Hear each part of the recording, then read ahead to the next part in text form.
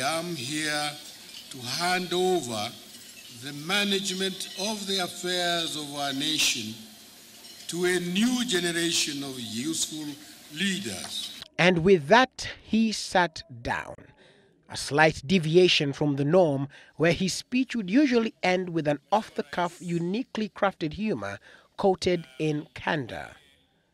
But on this day, Kibaki stuck to the script. It was instead the new occupants of the House on the Hill who bore the witty remarks while underscoring Kibaki's new role. It's not always that you find a father figure who has been in politics and leadership for 50 years. Uhuru Kenyatta and I are very lucky because we know who you voted for.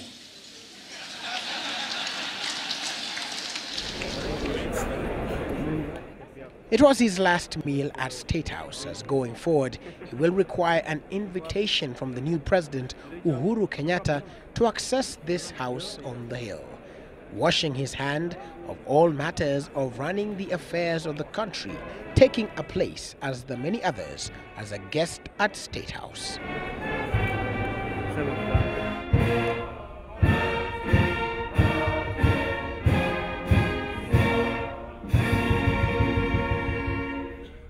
And when it was all said and done, it was time for him to leave his abode for the past 10 years, State House.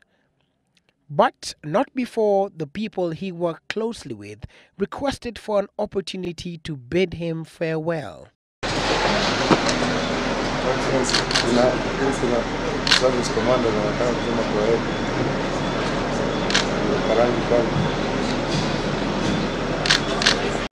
Chief of Defense Forces General Julius Karangi led the KDF top brass.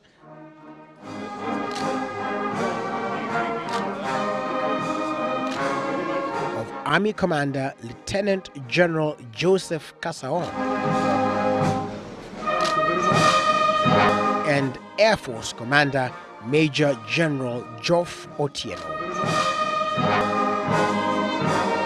and Navy Commander Major General Ngewa Mukala, all top ranking officials of the Kenya Defense Forces that have a special place in their hearts for this man who, as their commander in chief, successfully led their entry into the foray of war in Somalia, dubbed Operation Linda Nchi.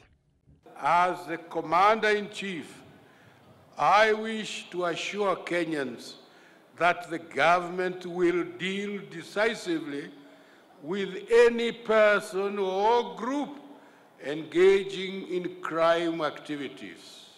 A rare opportunity presented itself as well for Kibaki's aide de camp, who, after the handing over of the sword, making Kenyatta the commander in chief, ya Kenya.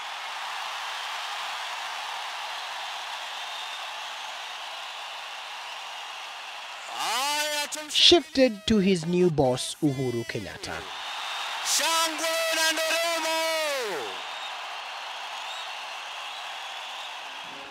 And so, for the first time, he too had an opportunity after more than a year standing behind his commander to stand in front of him and honor his years of service before taking his place once again behind his new commander in chief. And those rarely in the public limelight, like NSIS boss Michael Gichangi, also bidding farewell to his former boss.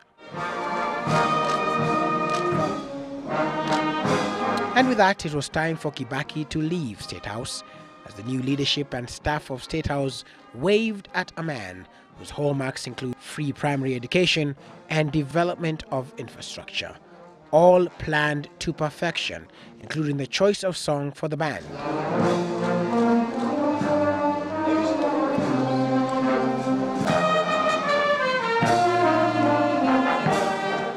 Translated asking God to guide and be with the former president.